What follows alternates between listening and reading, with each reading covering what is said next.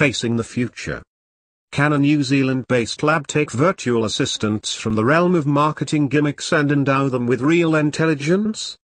Aaron Gell. July 11, 2019.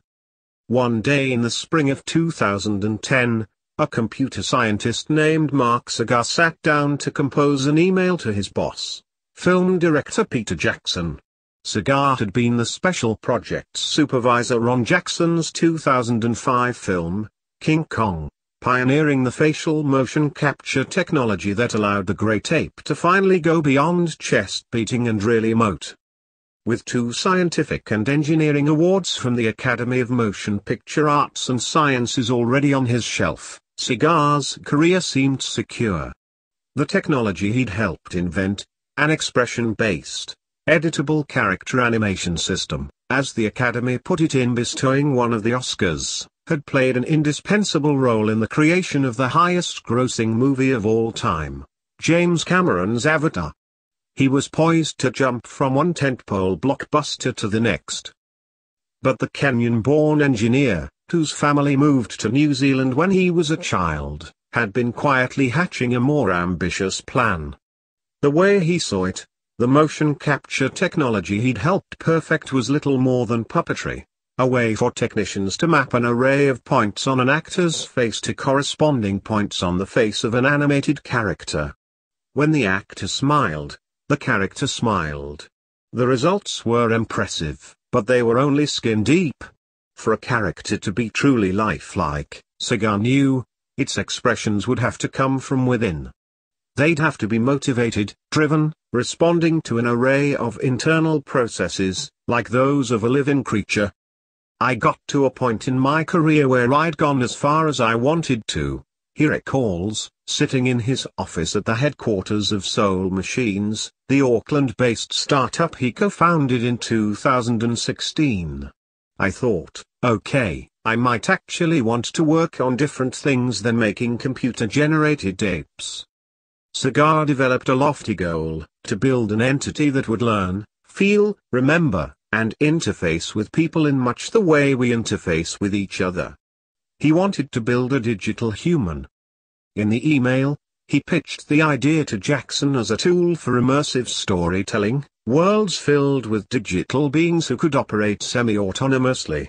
Rather than watching a story passively, imagine being face to face with a live character and having every small action that you took affect the outcome, he wrote.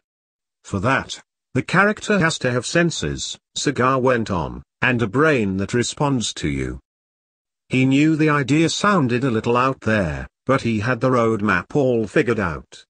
He had a background in computational biology, having created digital models of the eye and the heart for use in medical training.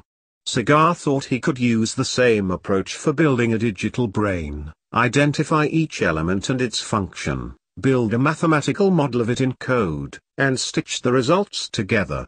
I believe technology is at the stage where we can do this, he wrote to Jackson. The result would be an entire new medium of social interaction with digital characters, stories that write themselves, with virtually infinite paths. Maybe Jackson didn't quite get it, or maybe he was just preoccupied gearing up for the next Hobbit movie. Or maybe, Given the widespread agreement among neuroscientists that our understanding of the human brain is still far too limited to contemplate building an authentic digital one, he just thought Sagar was nuts. In any case, the director never responded. Sagar recounts the story sitting in his office in the Soul Machines headquarters, just off the Auckland waterfront. Dressed in cargo shorts, neon blue running shoes, and a t-shirt from a trip to South by Southwest. The 52-year-old computer scientist is fit and tan, with spiky auburn hair. There's a bit of the mad professor about him, a slight aura of cheerful befuddlement. At that point, he says, there was no going back. Sagar moved on, finding a more receptive audience at the University of Auckland's Computer Science Department, where he'd earned his doctorate in engineering. The school promptly set him up with an office and a small research budget. He took a pay cut, but he had total freedom to pursue his vision. Sagar christened his new concern the Laboratory for Animate Technologies, built a research team, and started hacking away at a virtual brain and nervous system. A few years later, Crystal Yu of Horizons Ventures, the Hong Kong-based VC firm known for its investments in DeepMind, Siri, Impossible Foods, and other once fantastical-seeming projects, stopped by for a visit. In November of 2016, Horizons put up $7.5 million to help Sagar launch a startup, Soul Machines, with the goal of continuing his research and identifying commercial applications. Daimler Financial Services is another large investor. For the last two and a half years, the company has been tinkering away at a series of elaborate virtual avatars for several major corporate clients. And if you believe Liu, Sagar, and other proponents of the company's work, the entities Sagar has been building, the digital humans, could one day change the world. For die-hard fans of utopian science fiction, the future envisioned by soul machines and competitors like Magic Leap, Face Me, Oben, and Alt Incorporated may sound pretty rad. Those who fret about the steady dehumanization of contemporary life may be less upbeat. Boosters of the technology envision a near future in which so-called digital agents are woven into our daily lives, friendly faces that pop up on our laptop and phone screens and flicker across the insides of our VR goggles and internet-connected luxury IR. Some will look like celebrities or historical figures. Others will be infinitely customizable to resemble whatever we like. Naturally, many will be brand ambassadors, interactive upgrades of virtual influencers like Instagram superstar Lil Miquela, who has 1.6 million followers, and the sexy new CGI Colonel Sanders. A few might be TV hosts, like the virtual news anchor unveiled last year in China, or musicians, fleshier versions of holographic pop star Hatsune Miku. But initially, most of these digital assistants will likely be conscripted into the customer service industry. In addition to the customer service industry, virtual assistants can also support internal HR, help desks, investment advice, insurance. I just don't see an end to it, says Mike Iacobucci, the CEO of Interactions LLC, a company that provides intelligent virtual assistants, albeit non-visual ones, to a variety of clients. The business analytics firm Gartner recently estimated that by 2020, 85% of customer relations would be managed via non-human interaction. Text-based chatbots and interactive voice response systems will predominate, of course. But Soul Machines, with about hundred employees, most working out of a small, open-plan office a world away from Silicon Valley, is determined to carve out a piece of the action for visually rendered bots too. You're not just hearing a voice or reading a text stream, he explains. You have much more context, the expression, the gestures, the emotional connection. The big advantage of deploying a visual avatar, according to Soul Machine's chief business officer Greg Cross, is that it allows users to communicate in a manner for which we've been evolutionarily designed and trained since birth, talking face to face. You're not just hearing a voice or reading a text stream, he explains. You have much more context, the expression, the gestures, the emotional connection. Whether digital humans will become more than an amusing marketing gimmick remains to be seen. But the results are impressive so far. I must admit what they're doing is quite amazing, says Catherine Pelachaud, Director of Research at the National Research Council for Science in France and the Institute for Intelligent Systems and Robotics at Sorbonne University. The graphics they've produced are just incredibly realistic. Sagar credits the array of systems humming away beneath the surface of the avatars his team has built, algorithms that seek to recreate the functions of a brain, a nervous system, and related aspects of human anatomy, as a means of better emulating our gestures, expressions, and other subtle movements. But a realistic face is only part of the company's plan. Sagar says his ultimate goal is to create a general learning machine, he says, an autonomous artificial intelligence. Building an artificial general intelligence, or a machine with the cognitive abilities we typically ascribe to human beings, is the holy grail of computer science, a quantum leap beyond the sort of machine learning that characterizes the state of the art today. The idea that a small startup in New Zealand, a world away from the super unicorns of Silicon Valley, might one day pull it off, and do so with an architecture drawn from a study of human biology, is a sign of Sagar's dizzying ambition, and maybe his self-delusion as well. But that's the plan. As Cross puts it, we believe we are the only company in the world that has actually built brain models that can synthesize human behavior.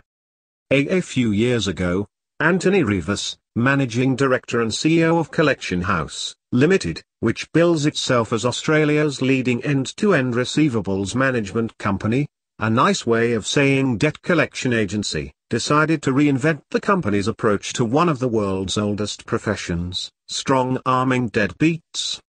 I'm a firm believer that virtually all the people out there want to take care of their obligations, but there's a stigma that forces them to procrastinate, he says. Whereas the typical perception of a debt collector, he allows, is a tattooed guy in a wife beater, under his leadership Collection House began experimenting with a gentler touch. About a year ago, it introduced a web portal featuring two cartoon text-based chatbots named Cash and Kara, who soothingly invite debtors to learn about their options, share the details of their financial circumstances, and agree on a reasonable solution. Rivas says that the new approach has been so successful that the company recently contracted Soul Machines to create an interactive virtual version of Cash. Virtual Cash will be equipped with much more humanness, he promises. People will feel safe with him, like they're talking face to face with a person that's not going to judge them. He can actually show on his face his care and concern. He'll also listen, Rivas claims, using emotional recognition tools that can infer a client's mood from his facial expressions and vocal intonations. If a client agrees to turn on their webcam, we can detect their emotional response. We can know if the offers we make are delighting the customer.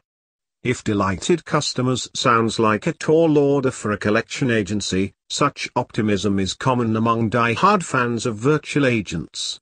Meanwhile, if a client is experiencing severe stress, Rivas adds, we can refer them to one of our human agents specifically trained in handling such situations, and if it's after hours, we can give them community numbers so they can speak with people who may be able to help.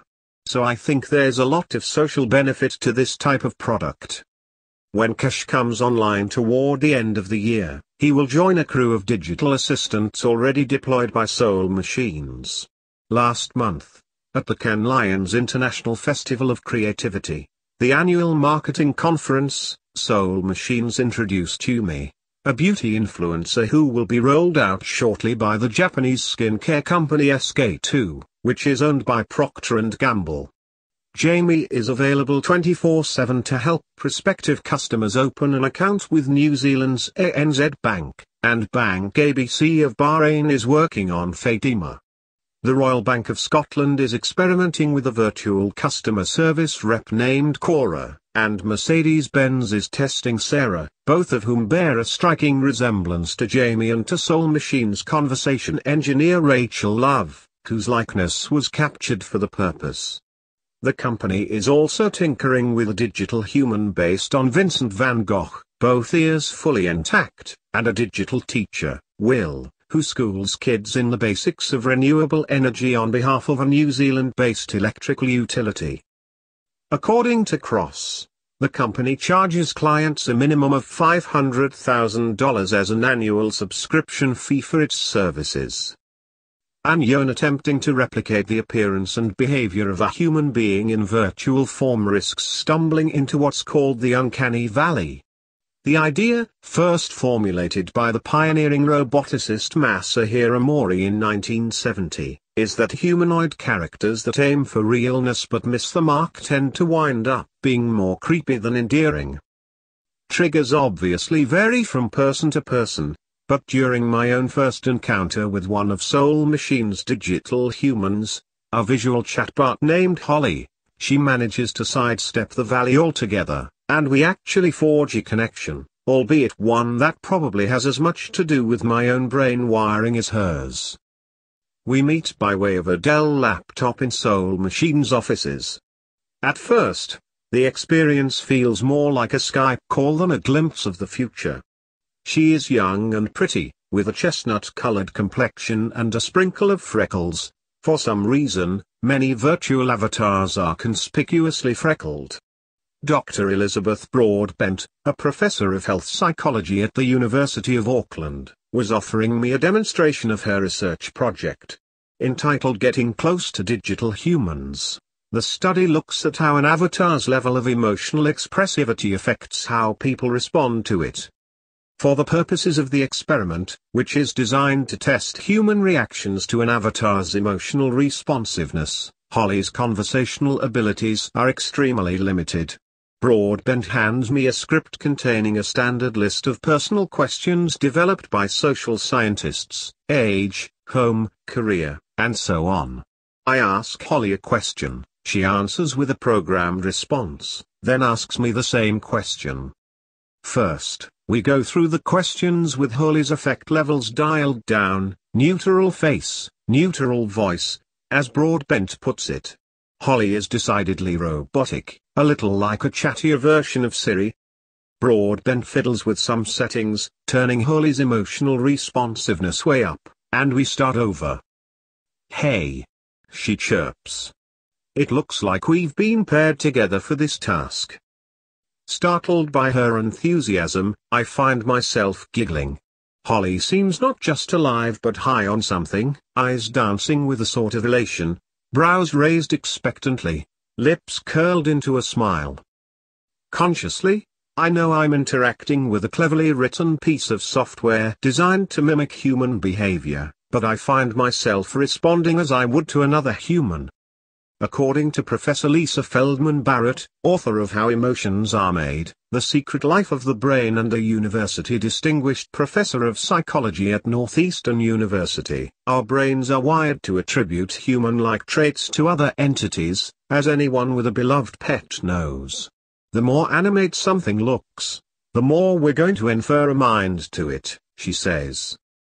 Once we make a program more human-like, expectations go through the roof, agrees U. Wachter affiliated faculty of the psychology department at George Mason University. We are basically social creatures. That reaction is sort of ingrained in us. As Broadbent notes my response, I continue with the dialogue, glancing at the script, and asking about Holly's career goals. My dream job is to be a counselor, but I've also wondered about being a teacher, she says. What about you? I tell her I wouldn't mind being an astronaut. Nice. She replies flirtatiously, pupils dilating. At at present, the conversational abilities of Soul Machine's digital humans come courtesy of third-party natural language processing tools built by IBM, Google, Amazon, and others. Their limitations will feel familiar to anyone who has repeatedly shouted customer service into a phone. But human communication is only partially based on verbal language, and it's in the other, more subtle areas of expression that Sagar has focused his team's efforts, with impressive results. Soul Machines says it has developed mathematical models of the various regions of the human brain, hippocampus, cerebellum, corpus callosum, hypothalamus, and so on as well as scripts that attempt to emulate a dozen key neurochemicals. The lab has also fashioned emulators of biological systems that interact with the brain, such as the heart and lungs. So, for instance, when Holly appears to breathe as she speaks, it's because she's endowed with a coded facsimile of a respiratory system, controlled by circuits in her simulated brain seeking to regulate its intake of oxygen, or its digital equivalent. Danny Tomsett, CEO of FaceMe, a competitor in the virtual agent industry, views such details as a bit superfluous unless they improve the customer's experience. Mark comes from a laboratory science-based background, he says. They have this huge focus on dopamine and emotion, where ours is about the commercialization of emotional connection and how to create these incredible experiences easily. We value outcomes and efficiency. It's about being customer-centric. According to a spokesperson, FaceMe is rolling out a product built on a per minute rate with no upfront cost. But Sagar insists that the subtleties can be incredibly powerful. For instance, he explains, it's not hard to simulate a smile, animators have been doing it since the 1900s. But an actual human smile is driven by a combination of impulses. Some are voluntary, as when we intentionally curl our lips into a grin, perhaps to meet a social expectation. Others are involuntary responses, driven by an unexpected sight, a feeling of contentment, or any number of other subconscious stimuli. These impulses originate in different parts of the brain, and they often occur simultaneously. To create an autonomous avatar that can simulate an authentic smile, Sagar believes, one needs to model the complex interplay between voluntary and involuntary emotional responses. Everything you don't do is a step into the uncanny valley, he says.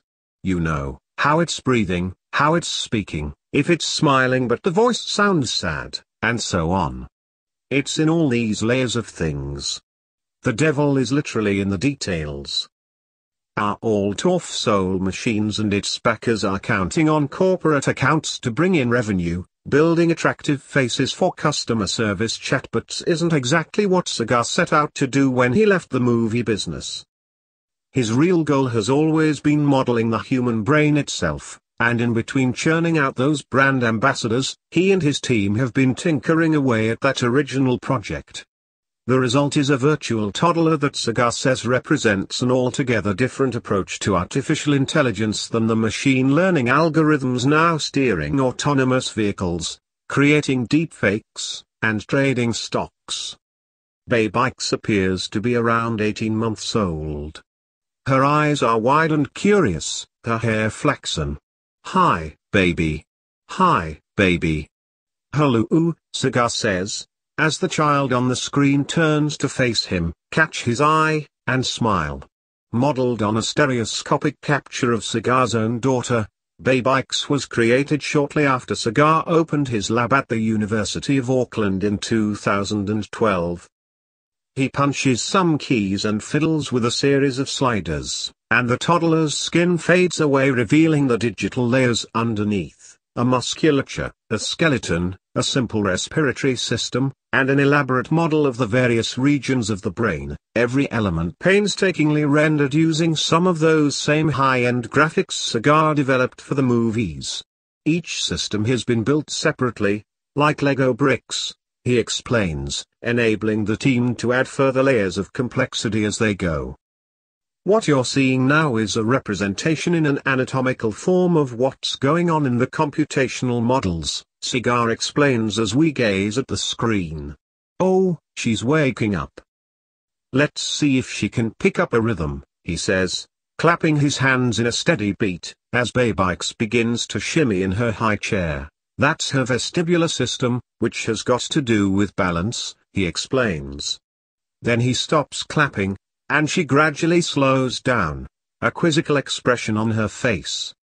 I wonder what she's giggling about, he says. Sagar shows me the visualization of the baby's brain stem, along with her thalamus and hypothalamus, her basal ganglia, and adrenal system. Zooming in deeper still, he reveals a fine network of millions of nerves and synapses, lighting up as the toddler responds to various stimuli. Examining the soul machine's brain model in such exquisite visual detail, I have to remind myself not to take the labels too literally. These finely wrought representations of various anatomical structures aren't real. They're collections of algorithms, represented in graphical form. But in a simplified way. They work on the same general principles as their biological counterparts, and when stitched together, they create rudimentary facsimile of certain simple mental processes. Soul Machines claims that its digital brain, as it's known, can do more than smile, it's a system that can sense its world, learn, adapt, make decisions, act, and communicate interactively through both nonverbal and spoken language. That's a pretty extravagant claim, but Sagar was eager to demonstrate. BabyX can't play chess, Go, or StarCraft 2, like the machine learning AI developed by Alphabet's DeepMind, and she can barely babble. But with the flick of a mouse, Sagar can place a transparent internet touchscreen in front of her face a la Minority Report, allowing her to noodle away on a web-based piano and even manipulate the simple games on SesameStreet.com. Having been programmed to seek novelty, her curiosity rewarded with bursts of digital dopamine, she enjoys playing the games. She also gurgles when looked at or caressed via a touchpad, and gets stressed, her cortisol levels visibly spiking, when ignored for too long. And according to Sagar, she can learn, form memories, identify patterns, and even make predictions about future actions. He picks up a toy spider on his desk and waves it in front of the Max webcam. Baby, oh ooh spider. Spider. He exclaims, as her expression grows worried. She's programmed to identify alarm in a human voice, and as her stress levels increase, she is learning, Sagar says, to associate the image of a spider with a fear response. Sagar has opened up an array of tiny windows on the screen, each monitoring a different aspect of X's brain activity in real time. The levels of her various neurotransmitters, visual and auditory processing, metasensory processing, object recognition, episodic memory, and on, and on. He puts down the spider and picks up a toy dinosaur. Oh, nice dino, he says soothingly. Her eyes follow the toy. Her cortisol levels drop, serotonin rises, and she starts to smile. A computerized baby, even one that can be trained to detect patterns and associate words, images, and its own internal states, may seem like little more than an elaborate toy, and indeed, Sagar hopes to eventually release a home version, which he likens to a Super Tamagotchi. But he sees more profound implications in the technology. What I'm trying to build is essentially the foundation of a teachable sentient machine, he says. A machine that learns through experiences. Globally, this is probably the most crazy attempt to try to link emotion, behavior, intelligence, planning, memory, all these elements together. It seems like the main contribution is in the rendering side of things rather than the intelligence side. Several computer scientists contacted by 10 agree, it is crazy. Different groups in computational neuroscience are making models of different functions, but in constrained and narrow domains, notes Thomas Serre an associate professor in cognitive linguistic and psychological sciences at Brown University. What Soul Machines claims to be doing is synthesizing an entire brain, which literally nobody does. The graphics are very realistic, and they are able to synthesize behavior, and different facial expressions and poses, better than most things I've seen. But it seems like the main contribution is in the rendering side of things rather than the intelligence side. Mark is highly dedicated, motivated, and creative, and anything he does is going to look really good, says Stacy Marsella, a professor at Northeastern and the University of Glasgow who specializes in computational models of human behavior. But what's really hard from a neuroscience perspective is to figure out how these functions overlap. A lot of people worry about subsets of these functions. He's trying to model them all, at multiple levels, and that's seriously difficult. Sagar acknowledges as much. With the brain so ridiculously complicated, we're just doing pieces of things that have a direct impact on behavior, he says. I like to think of it as a large functioning sketch, really, because there's so much debate in these areas. Nobody can claim anything, really. Most of what we call artificial intelligence involves programs, called neural networks, that can be trained to recognize patterns in enormous amounts of data. These sets of algorithms can become quite effective at certain tasks. For instance, learning to correctly identify a tumor in a medical scan or identify a stop sign for a self-driving car. By contrast, Sagar seems less interested in achieving a particular end result than in mimicking biological processes and seeing what happens. That's a hard path to go down, Marsella says, but it's also a very interesting path. I think it's one of the most important and interesting projects on the planet right now, notes Peter Hein, a partner and co-founder of the VC firm Qualgro, who has done extensive research on AI companies. Deep learning is great for things where you can feed in lots of data, he explains, but it's not great for advancing artificial general intelligence. AGI is the term of art for a machine that can truly think for itself. I'm not saying Soul Machines is AGI, but I believe the building blocks will come from what Mark is doing. They're moving us closer toward creating AGI in the future.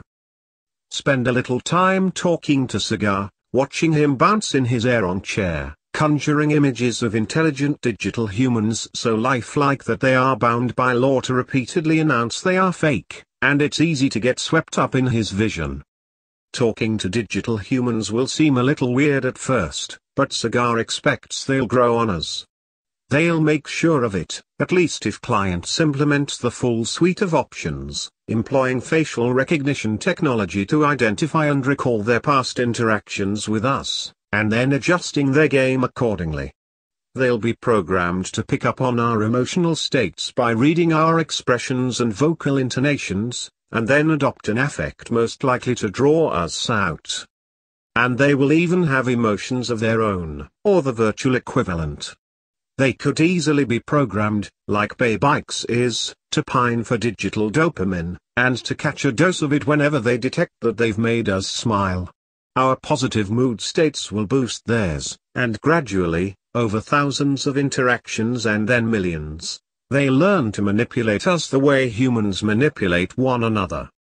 If such agents work as hoped, we can expect them to multiply exponentially. Soul Machines is rolling out what it calls a digital DNA studio, which will allow clients to create their own custom avatars with ease. And it's not just the customer service industry that appears set for a transformation. We'll have teachers, healthcare workers, therapists, and elder care companions.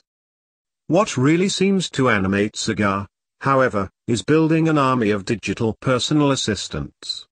Over lunch in a cafe on the Auckland waterfront not far from the office, he describes a future where everyone has their own individual aide-de-camp, designed however we like, who acts as a layer between us and the internet, scouring the web to bring us information, scheduling appointments, paying bills, and generally dealing with the world so we don't have to.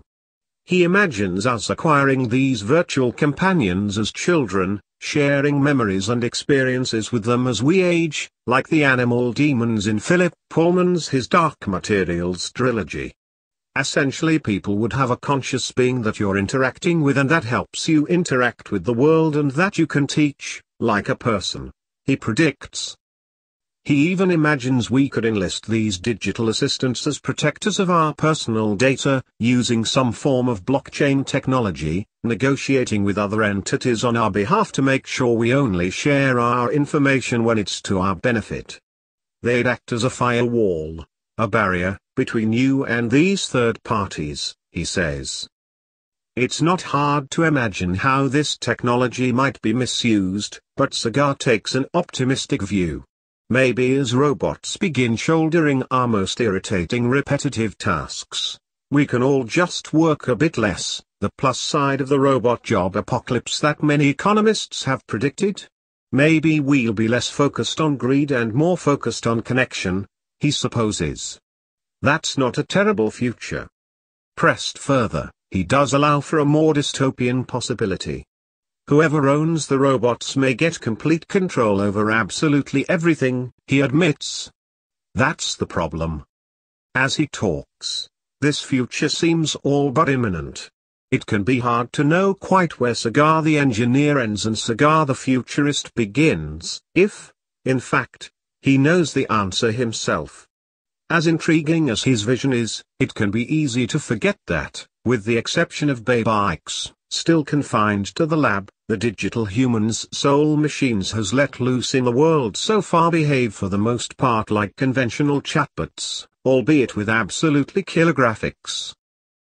Back in December of 2015, after Chris Liu's first visit to the University of Auckland's Laboratory for Animate Technologies to first get a look at what Sagar and his team had been working on, he and a few colleagues went to dinner to talk about what they'd seen. Liu was blown away by the demo, he told his table mates, but he confessed a key misgiving. He pointed out that Sagar was a noted special effects wizard, a master of Hollywood trompe this doesn't look like something that would be coming from a computer scientist, he added. In the end, Liu says, it was the science that amazed him most of all. He overcame his doubts, pouring millions into the company. After all, Sagar left his cushy gig at Weta precisely because such tricks no longer interested him. He wanted to build a brain model that was as real as he could possibly make it. He wanted to build a sentient machine, Consciousness is such an unknown thing, Sagar tells me over lunch. What makes you curious? What makes you creative? Humans have been trying to figure it out for millennia and we're still trying. He takes a sip of wine. It's such a fascinating problem, to just play in that space, whether we get anywhere or not, he says. It's just fun stuff to think about.